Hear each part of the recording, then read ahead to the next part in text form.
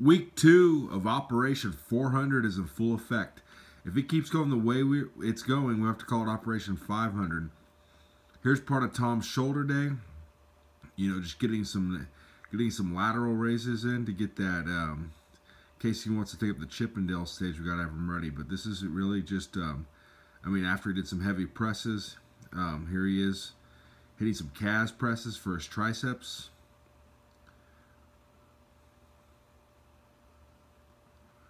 Looking very, you know. So right now, again, we're in the mass building phase. We're trying to, we're gonna, we're eventually gonna convert Tom to power, but obviously that uh, for someone at six foot eight, um, that added mass is gonna be extremely important in, to improving his leverage for power.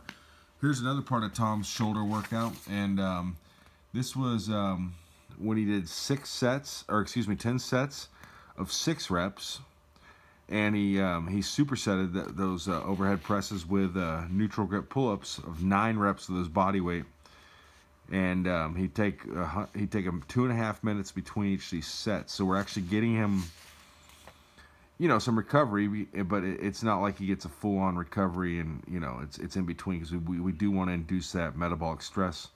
We're going for hypertrophy here. Here, here he is, banging out some more overhead presses, some more pull-ups so not only is Tom heavy at, uh, you know, closing on 330 pounds, he's also six foot eight. So, you know, a lot of people with either of that going on wouldn't be able to do any single, any pull-ups. You hungry anybody? Take a look at one of Tom's meals. Okay, so here's the, um, Tom performing the Hatfield squats and um, he did a better job of hitting depth because uh, it's a lot it's harder for a lot of taller guys to get down so he did a much better job of hitting depth. He's going 625 here uh, for two sets of five, keeping his strength up. And he, he followed that actually with um, 10 sets of 10 reps with a two and a half minute break um, on the dead stop leg press. Then he did four sets um, of 35 meters backward sled drags uh, with 90 second break with 556 pounds. That was in the morning session.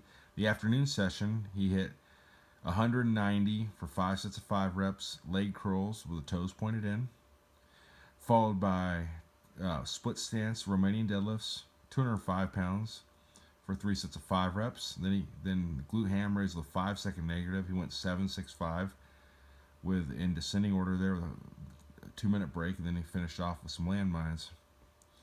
So here is Tom hitting some dips. This was part of his chest section after, after he did uh, he did uh, he did six sets of 10 reps on bench press, supersetted with 10 sets of 10 seal reps. He rested 10 minutes. Then he finished off with these dips. These are with 120 pounds over his body weight.